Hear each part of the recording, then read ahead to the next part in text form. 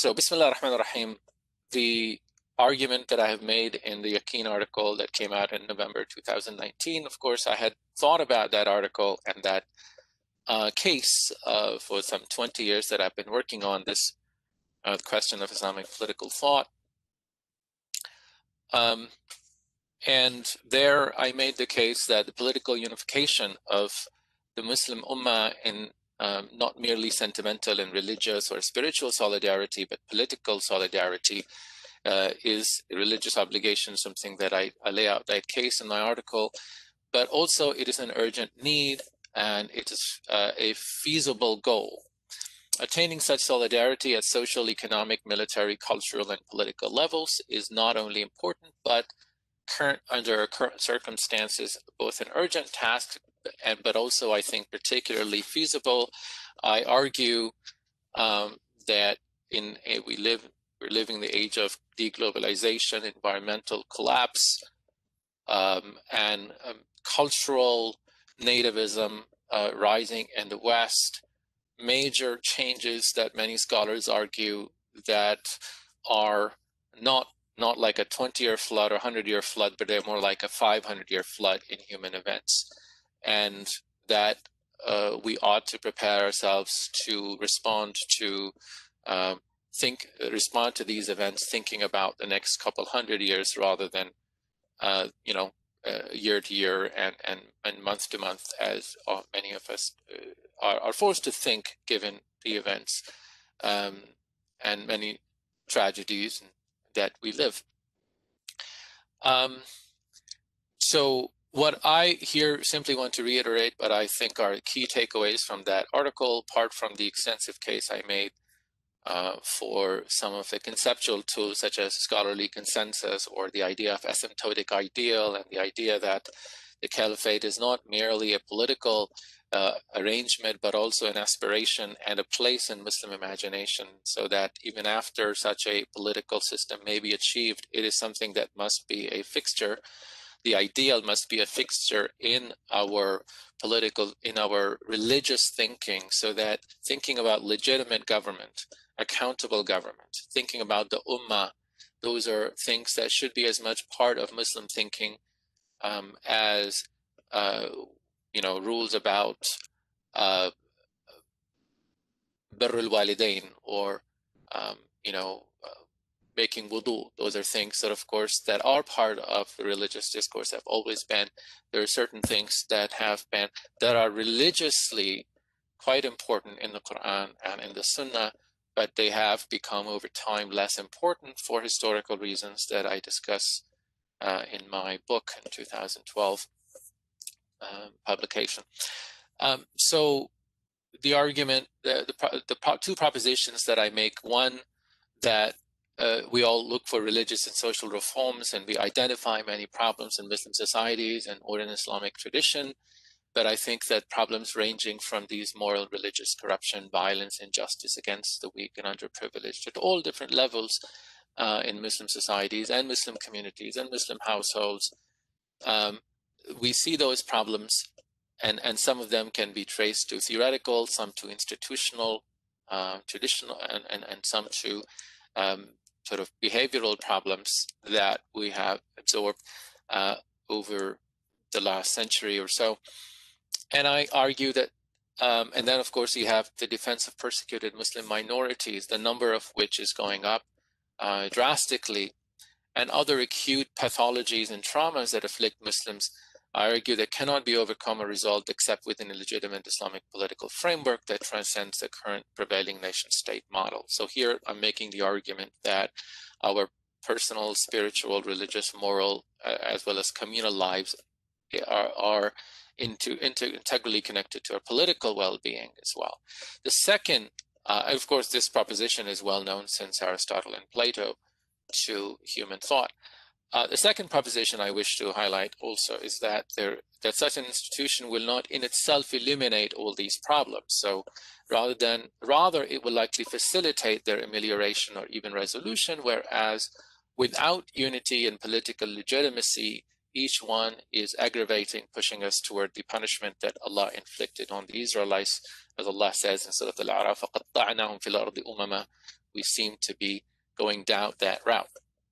So that a legitimate political order that transcends the current plethora of sovereign nation states um, and secures Muslims effective cooperation in areas such as defense, economy, and governance is a necessary but not sufficient condition for the revival of Islam and completion and sustainability of certain crucial reforms. I choose to call this project Ummatic.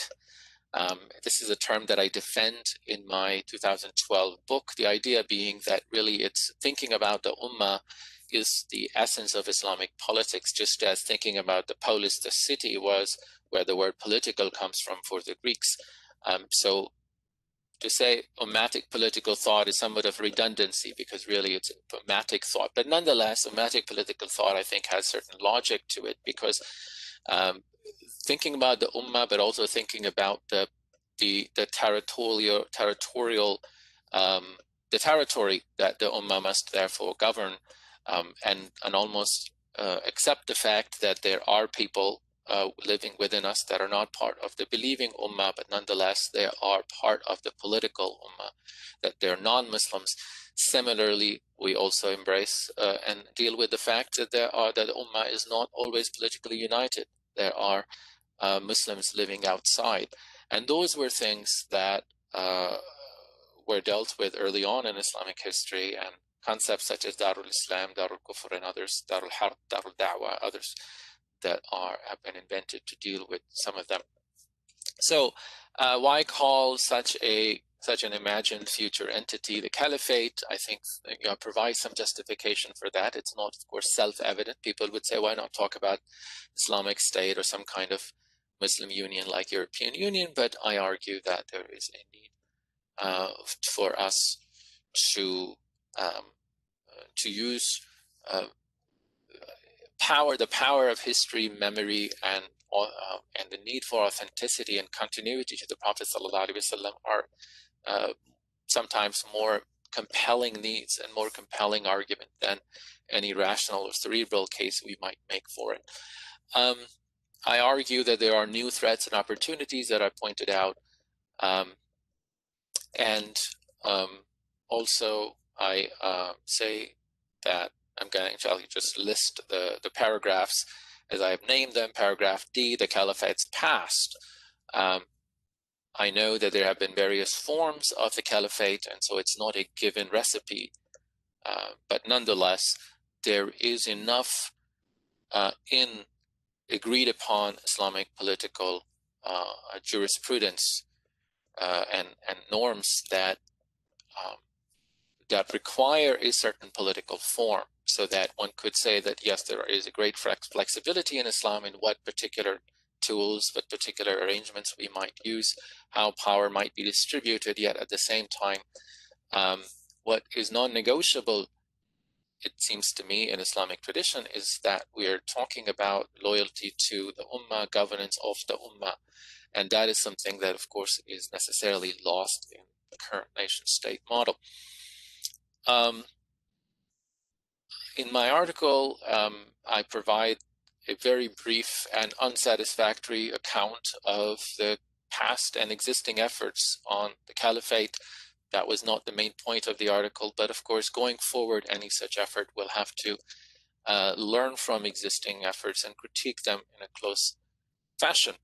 Um, I in, I think that what I'm really looking to highlight here uh, is paragraphs F um, and G uh, moving forward, and, beyond that, crucial points of debate among the Islamic movements that have been committed to Islamizing politics, such as gradualism, right? There are people who say that, well, first you establish the family and community, and then um, fix your nation states, and then move toward a unification, whereas this approach has been critiqued as well.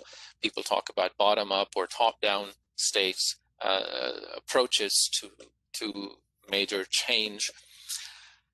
Um, the, the relationship to the West as a political other or as a potential friend um, with whom we seek this uh, coexistence not complete assimilation, but not clash either.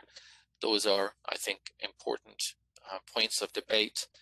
that need to be uh, continually and, and uh, dealt with in a renewed uh, with, with renewed attention. The relationship to Western bodies of knowledge and institutions. This, I think, is extremely important, and many existing scholars um, have dismissed Western bodies of knowledge uh, or bodies of knowledge as Western, uh, yet at the same time, they're both compelling and they're not particularly Western. And I think that um, uh, dismissing them often uh, puts us at, at, a great disadvantage. Um, so we must have a, mastery of, uh, of certain uh, empirical and uh, data and experiences and, and, and fields of um, understanding uh, in politics, society. Otherwise, we are incapable of deconstructing, and this almost a it's a fashionable decolonial, anti-colonial, uh, third third worldist worldist approach among Muslim intellectuals often leads to a, well, to put the words that I usually use, it leads to a new God. That so anti-modernity becomes the new God that we worship rather than uh, Allah subhanahu wa ta'ala and being able to, uh, uh, you know, it, it, becomes a new kind of religion where uh, we have to romanticize the past against the present. And I think that those are things that uh, ought to be addressed um, when thinking about these future problems. The mechanisms of bringing about change, that's another thing, right? People focus on uh, bottom up or top down.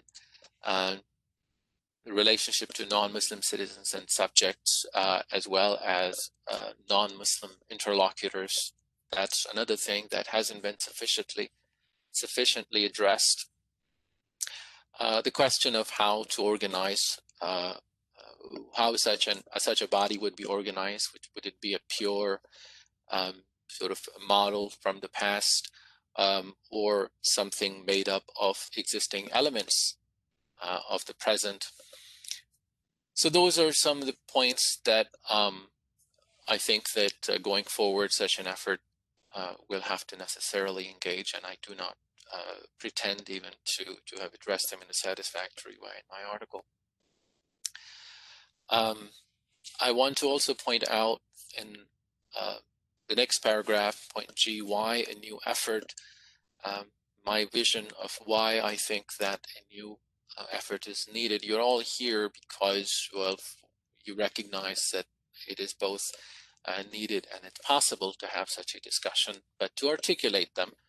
Um, my point here is to explore the how of how to get there uh, collectively how to actualize an ummatic political vision that addresses the aforementioned questions um, in such a way that is characterized by these few features that I think may be missing or not fully present in uh, the current and past caliphate movements. One, what is realistic and speaks, speaks to historical complexities as well as social uh, and scientific bodies of knowledge available to us today. Many of the uh, articulations of an ummatic vision in the 1950s, 60s, 70s, uh, I think are uh, to some degree a base. They were they were sort of post World War uh, developmentalist model uh, in the world, where IMF basically was uh, focusing on state-based progress, state-based development, and many of these movements sought to look at the world and their own organization of movements as political parties.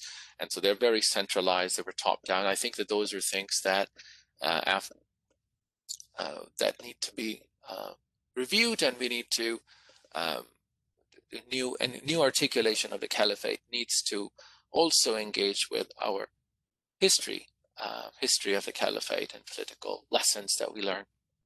Second, um, and this is an important thing for me as uh, not only a goal, but almost as a measure of how well we're doing, which is that such an effort should speak equally to the various strata of Muslim life, meaning, um, are we engaging only the energetic young men who are most easily attracted to audacious optimism, right? And of course, talking about the caliphate requires this kind of audacity.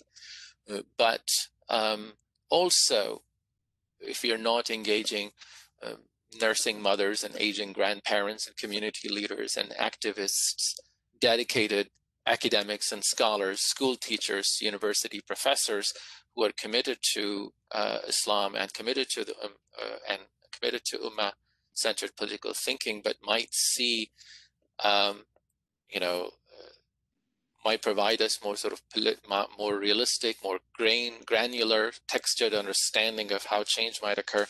We are failing if you're not engaging all these types of uh, groups of people um, in the Ummah. Um, similarly, efforts I think should be made to include in the conversation sympathetic non-Muslims within the Muslim lands uh, and outside of it. Finally, such a discourse should not be limited to restoring a political institution, but worthy of a permanent place in Islamic thought and life. So those were um, some of the things that I want to see as features of our intellectual movement and whatever social movement that may come out of it. Um, and then I will skip the next two paragraphs, the movement, the kind, you know, I, I try to describe the movement that we need and uh, some envision how I envision the caliphal governance to be. Those are things that will necessarily be more uh, practical questions um, that will have to be treated by uh, subgroups among us and uh, many other um, future scholars and endeavors who uh, want to take up the project. So I will get to just the next steps, paragraph J. I propose that we hold another colloquium in two or three months in which two or three uh, other scholars will present their uh, views, just as I've done mine um, in this session, and then we similarly build on it, critique it, and finally, we also take steps towards establishing a center for a research or a think tank um, and or a website uh, to advance uh, what I have called Ummatic political thought and practice.